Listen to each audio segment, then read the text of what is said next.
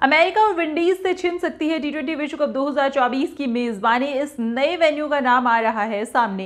Hello, नमस्कार, मेरा नाम है सुनीता और आप देख रहे हैं डीवी स्पोर्ट्स टी ट्वेंटी विश्व कप 2024 विंडीज और अमेरिका की मेजबानी में खेला जाना है, लेकिन इससे पहले बड़ी अपडेट ये आ रही है कि यूएस और विंडीज से ये मेजबानी छिन सकती है और इंग्लैंड को नए वेन्यू के तौर पर देखा जा रहा है। कारण ये है कि अमेरिका और विंडीज में विश्व कप को लेकर जिस तरह से तैयारियाँ होनी चाहिए, उस तरह की तैयारियाँ नहीं है।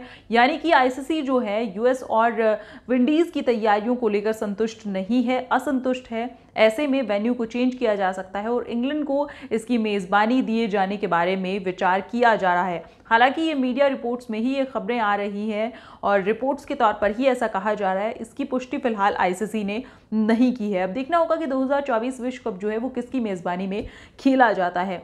अगर बात करें तो इस विश्व कप की तो ये अब से 12 महीने बाद, यानी कि अगले साल जून में खेला जाना है। उससे पहले वेन्यू किस तरह से चेंज होता है और किसको मेज़बानी मिलती है, ये भी देखना दिलचस्प रहेगा।